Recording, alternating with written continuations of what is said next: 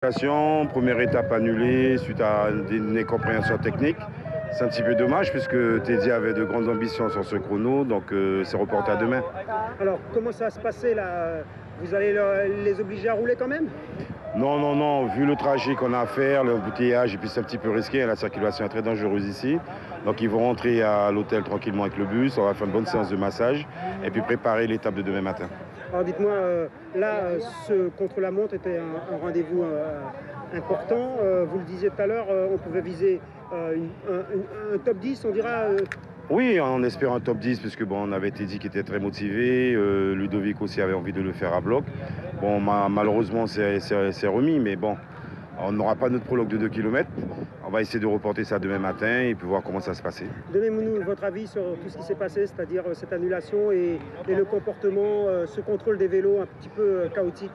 Bon, je ne me permettrai pas de juger, mais je pense que vu l'application du règlement que le commissaire voulait mettre en place, elle aurait pu le faire ce matin, nous avertir, on serait venu peut-être une demi-heure avant contrôler les vélos, ça aurait évité d'avoir tout ce tapage. Quoi.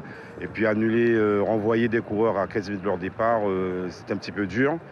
Bon, heureusement que nous, on n'était pas dans le cas, mais je comprends un petit peu la réaction de certains.